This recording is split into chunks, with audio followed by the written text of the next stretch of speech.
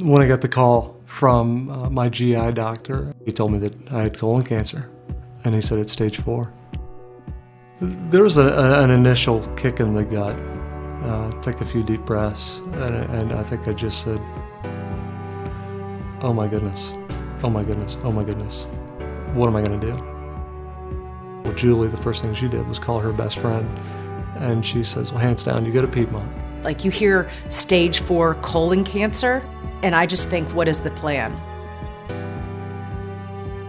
We reached out to MD Anderson for a second opinion, and their top surgical oncologist wrote me an email back three days later and said, You're in the best of care. You're doing exactly what we would recommend.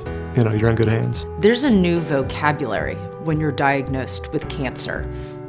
I didn't know what a PET scan was. So when they did that, they found out that it had metastasized to his liver.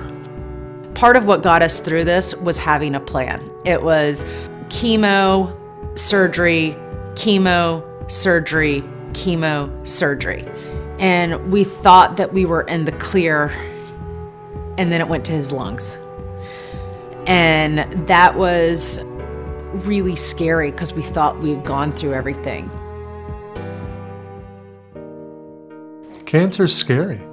It's a scary word. It's a it's a scary prognosis. It doesn't fight fair. We have loved the level of support and care for us as a family.